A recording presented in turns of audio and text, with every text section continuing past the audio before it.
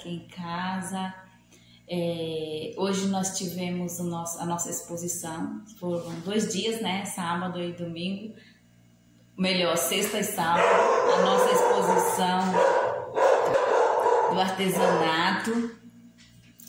Foi assim, muito legal, né? Foi um, assim, um, onde nós podemos é, colocar nossas peças, a nossa arte para que a cidade viesse conhecer um pouco, né?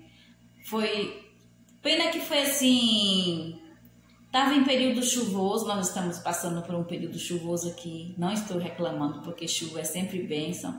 Mas geralmente as pessoas não gostam de sair, né, em dia de chuva. nós gostamos de ficar em casa, né, dia de chuva, tomando ali um chá quentinho com a família, né? Mas nós planejamos, mas a gente faz um plano e Deus faz outro. Mas foi bom, eu pude registrar algumas coisas. Tivemos ali com algumas crianças passando ali um pouco do nosso do nosso conhecimento para elas, né? E foi muito assim foi muito agradável porque a gente vê o interesse das crianças em estar ali aprendendo, né? Porque muitas vezes ah, os adultos até passam batido, mas as crianças dão aquela maior atenção, né? E foi muito bom ali com as colegas.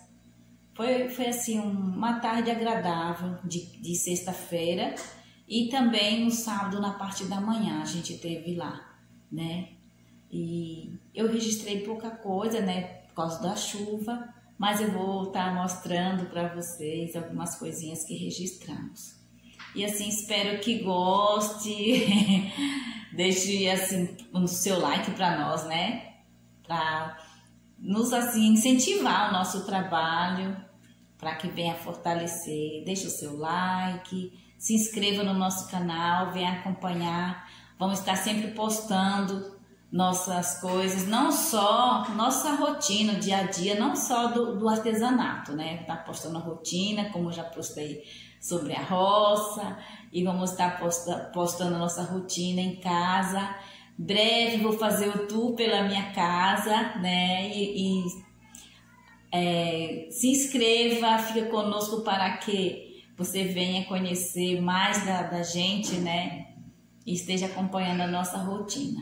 Fiquem com Deus, um grande abraço. Deus abençoe a vida de cada um.